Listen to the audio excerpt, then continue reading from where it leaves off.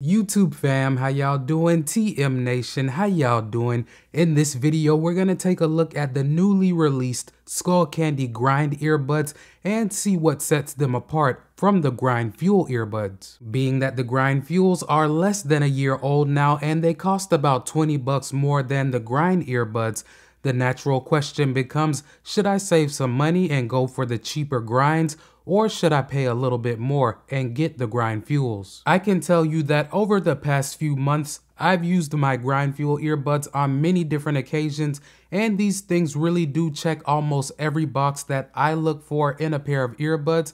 I mean, you're getting the companion app, good sound quality, great battery life, and wireless charging with the case. On the other hand, I have been using my Grind earbuds for a few days now, and although the experience you'll get with the Grind Fuels is similar, the grinds are not quite there and you are missing some features that you will get with the grind fuels. Now I did do a full unboxing video on the grind fuels so I'll leave a link in the description if you want to check that out. But in terms of the unboxing experience, it's pretty much the same between the two. With both pairs, you'll get your user manual and documentation, a small USB Type-C cable for charging, and of course you'll get your earbuds and the charging case. This brings me to one of the main differences that you have in between the two, and that is going to be wireless charging with the case. If this is a feature that you have to have, you're only going to get it with the grind fuels, when it comes to charging the case for the grind,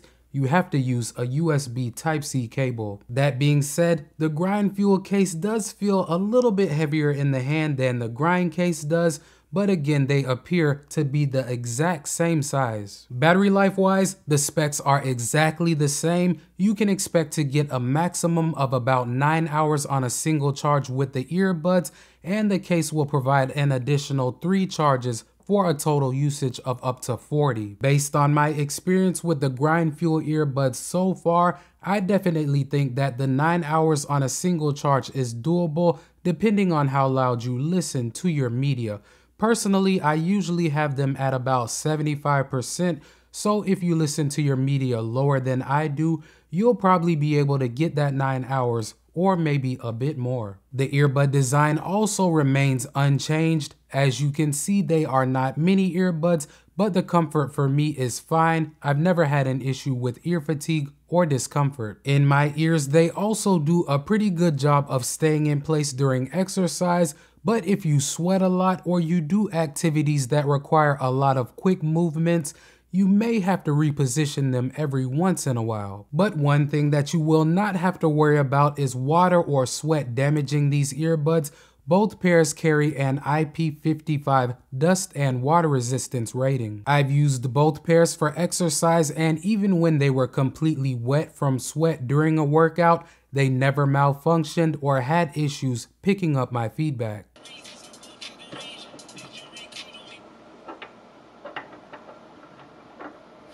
Touching on the amount of sound leakage that you'll get with these, both pairs are gonna leak some sound, but it's not terrible considering how loud they get. I can tell you from experience that if you have either pair set to the max volume and you have somebody within a one to two foot radius of you, they're likely gonna be able to hear what you're listening to pretty clearly. But as always, I will insert my leakage samples so that you guys can judge for yourselves. Let's check them out.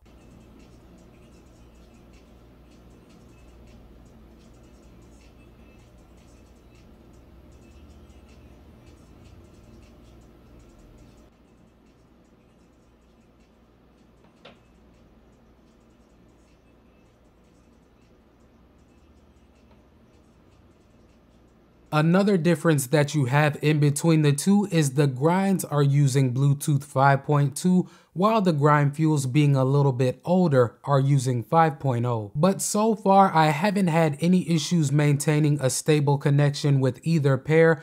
They do just fine in terms of lag watching YouTube videos and Amazon Prime movies. Now I would not recommend either pair for a hardcore mobile gamer as neither offers a low latency gaming mode, but if you're a casual mobile gamer like myself, you should be fine. And another thing that I do want to touch on that you can do with both pairs is you can use one earbud at a time and leave the other in the case if you want to. Both pairs are also compatible with the improved Skullcandy app. This will allow you to use the Skull IQ functionality, access your voice controls, customize your playback controls, and create custom EQs. Now, one feature that you do not get with the Grind earbuds that you do get with the Grind Fuels is the personalize your sound test through the app. This is where the app will create a custom EQ that is optimized for your hearing. This is a pretty dope feature in my opinion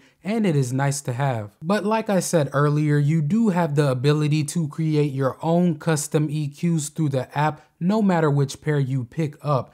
But if you want the app to do it for you, you're gonna have to go with the Grind Fuels. The new and improved Skullcandy app is one of the better companion apps out there.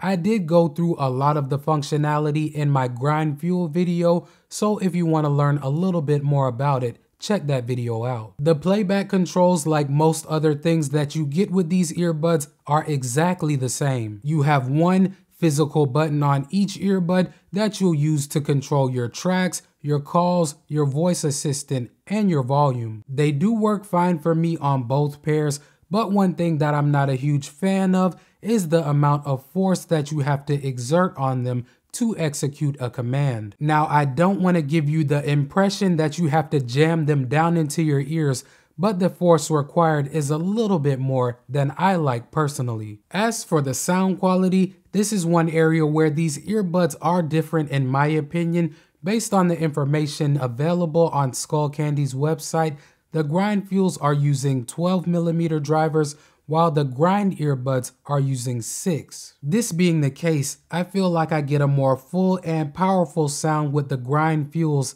especially at higher volumes. That's not to say that the grind sound weak by any means, but after I played the exact same song at the exact same volume through both pairs, one after another, there was a noticeable difference in the fullness that you get in between them. To my ears, the grind fuels do a slightly better job with sound separation, but I will say that I'm able to hear most of the detail in my music with both pairs. I also believe that the bass response that you get with the grind fuels is a little bit more punchy, but in all honesty, it's not that noticeable. It could be that I am a little bit biased towards the grind fuels just because I know that they have larger drivers and I've had more hands-on time with them, but I will say that I tried to remain as impartial as I could. In terms of the sound quality, I don't think that any changes have been made in between the two. I think that both pairs do a pretty good job of capturing clear speech. But I will insert my call quality samples for you guys so that you can judge for yourselves.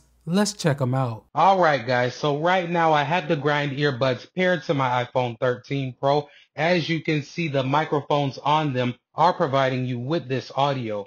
Now I'm not going to do any type of editing to this sample, so this should give you a pretty good idea of how they'll perform for voice calls. Alright guys, so right now I have the earbuds paired to my iPhone 13 Pro. As you can see, the audio that you're hearing right now is coming directly from the microphones on the earbuds. I am not going to do any type of editing to this audio, so this should give you a pretty good idea of how these will perform for voice calls. So taking everything into consideration, guys, both pairs are extremely solid in my opinion.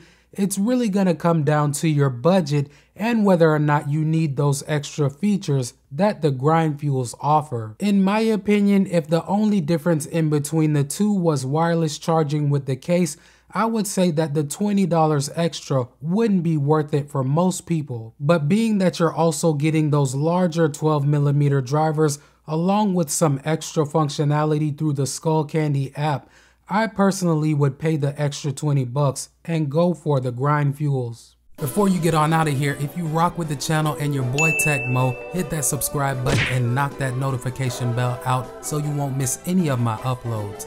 Welcome to TM Nation. Peace.